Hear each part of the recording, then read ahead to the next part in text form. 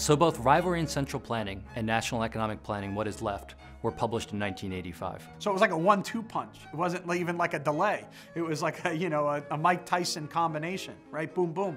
For those of us coming up in the next generation, it made Austrian economics a viable research program, not about the past, right? But about the future direction of the way that we think about doing economics and political economy.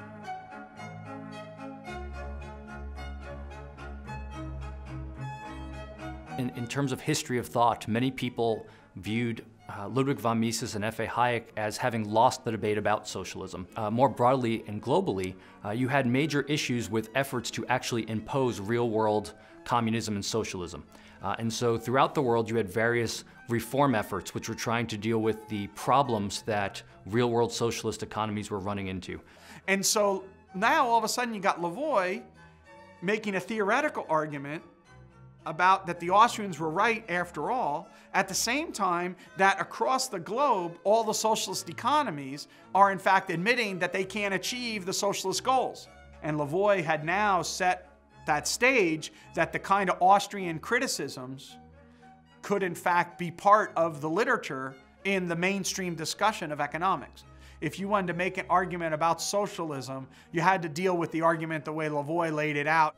The carefulness of the scholarship, the thoroughness of the scholarship meant that it would be so, uh, like scholarly irresponsible to not, even if you disagreed with it, to not have to grapple with Lavoie's book. So taken together, the two books complement each other nicely. On the one hand, there's the knowledge problem.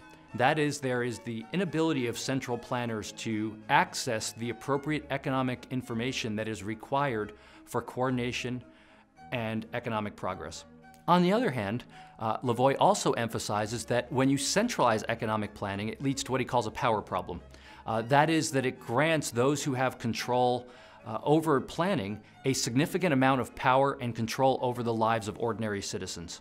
Lavoie also emphasized that this analysis of planning applied both to comprehensive economic planning, that is, efforts to plan the entire economy, as well as non-comprehensive economic planning. In order to engage in planning, I have to give authority to either centralized units or even decentralized units, but they have final authority.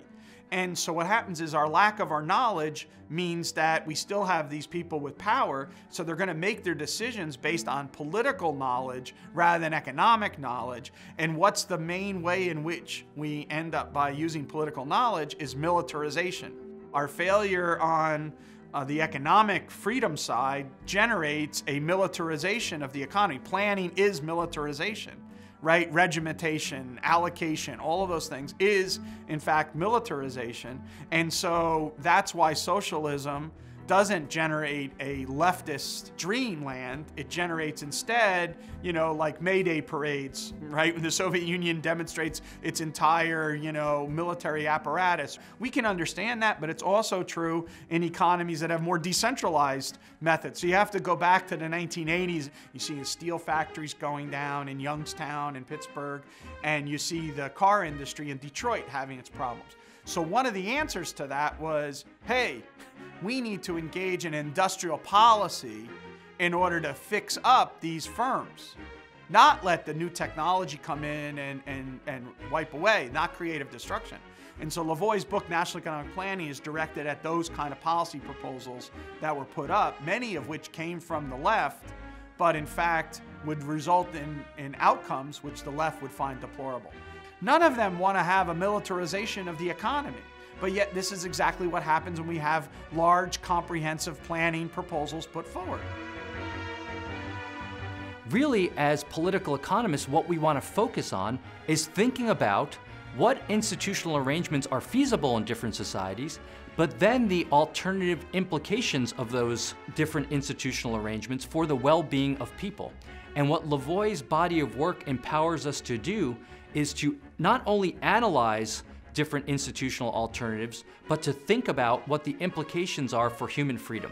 So where Lavoie comes down at the end of his study of real-world socialism and real-world central planning is the need for a radical agenda and a radical commitment to markets. What he argues is that in order to overcome both the knowledge problem and the power problem, What is ultimately necessary is to decentralize uh, control and decentralize decision making, all the way down to the individual level.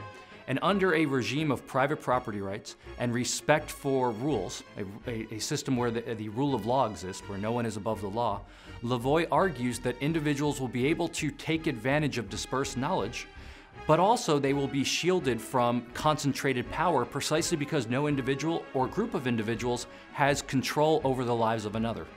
We treat people as uh, with dignity and respect, all human beings, and that we don't allow power to be concentrated in the hands of a few, right? We allow governance, not necessarily government power.